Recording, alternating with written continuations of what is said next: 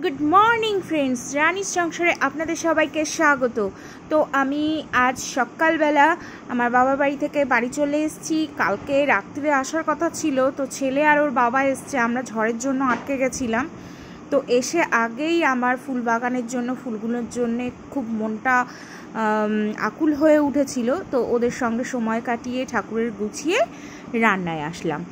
তো আজকের রান্না হচ্ছে সকালের রুটি, আলু চচ্চড়ি সরি কুমড়ো তরকারি। আর হচ্ছে দুপুরে হবে হালকা পাতলা মাছের ঝোল।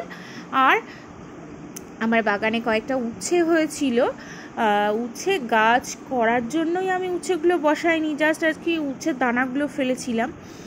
তো সেই উচ্ছে ভাজা হবে।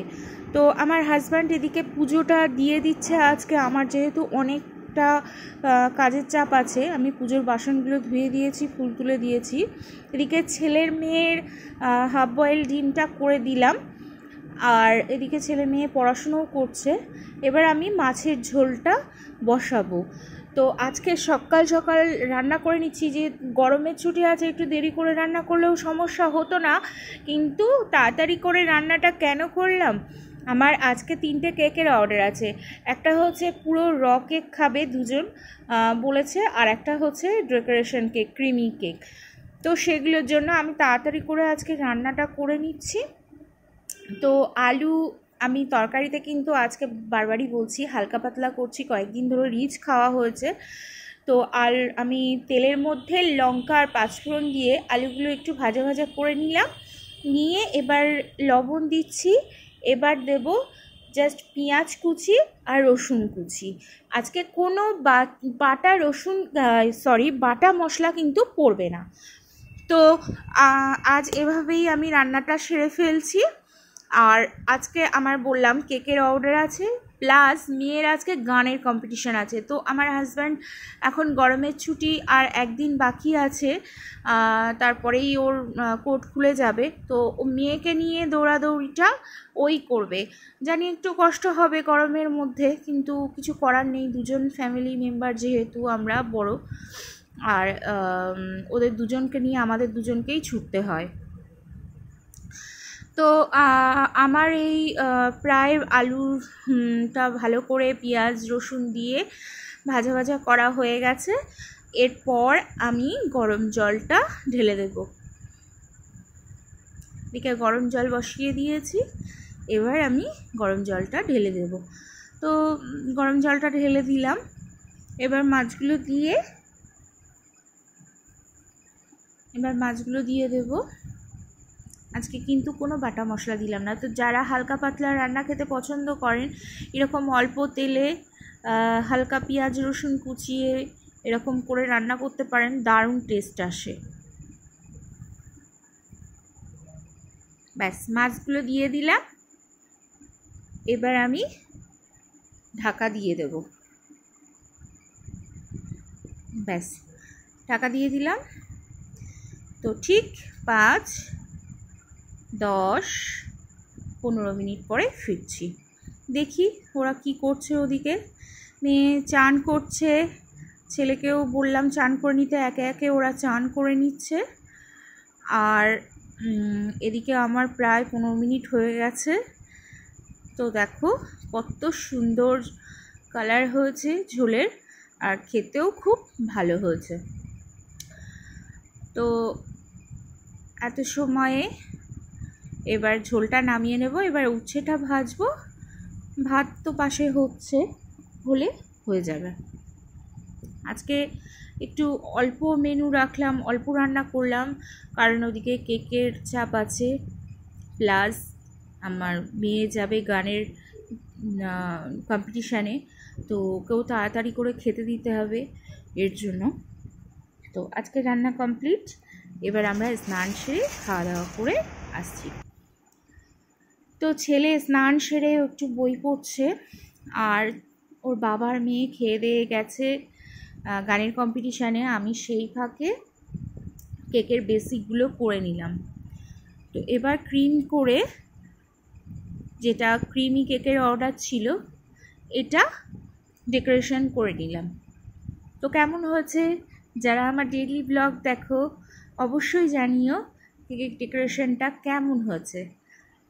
তো এরপর আমি কেকের বাসনগুলো মাজবো, কেকের বাসনগুলো গুছিয়ে রাখব। তো দেখো, কেকের বাসনগুলো মেজে নিয়েছি, নিয়ে সব জল ছড়াতে ভালো করে মুছে টেবিলে রেখেছি। এবার এগুলোকে আমি এই যে কেক, কেকের সব যত মেটেরিয়ালস আছে রাখার জায়গা, ওই তাকটা, তো তাকে সব রেখে দেবো কৌটো ভরে ভরে। তো ওখানে তোমরা কৌটোগুলো দেখতে পাচ্ছ হার্বালাইফ নিউট্রিশনে তো আমি এটা, যেহেতু world number one nutrition Herbalife nutrition আমি কিন্তু এটা ইউজ করি বা করতাম। আগেও করেছি বা এখনও করি। এটা আমি শরীর সুস্থ রাখার জন্য অবশ্যই করি।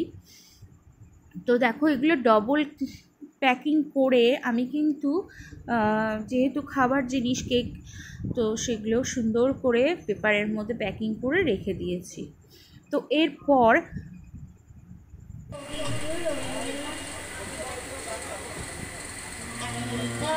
shovel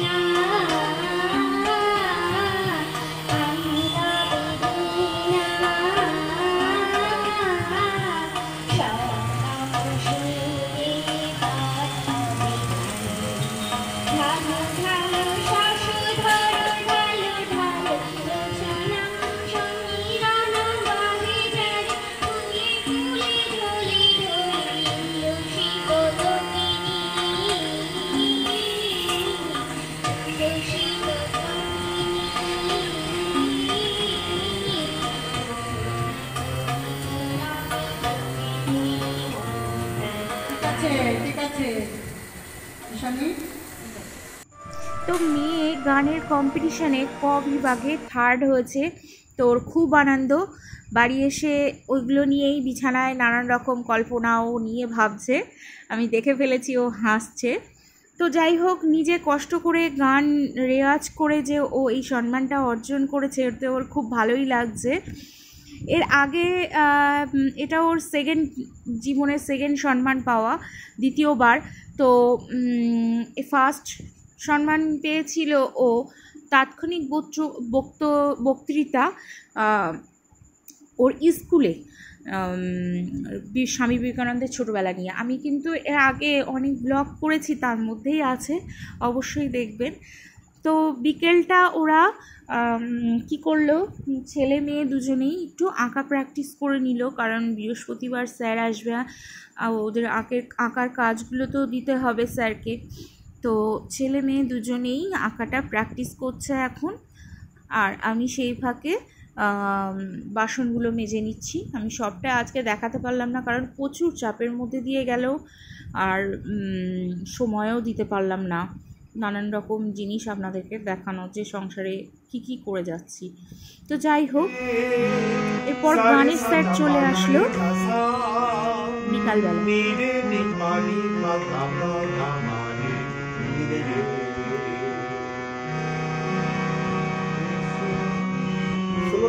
এসো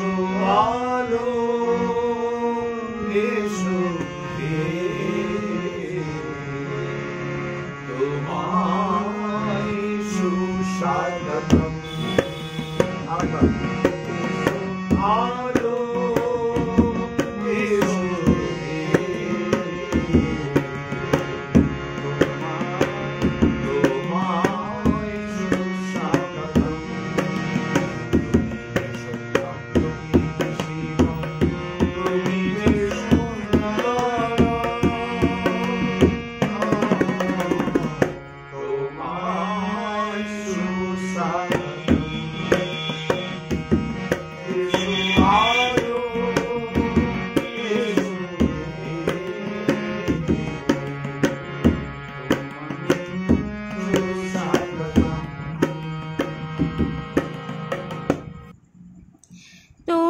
সন্ধেবেলা গানের স্যার এসেছিল, গান টান করে এবার পড়াশুনো নিয়ে বসেছে, ওর বাবানও কোটের কাজ করছে, আজকের ব্লগ এই অবধি।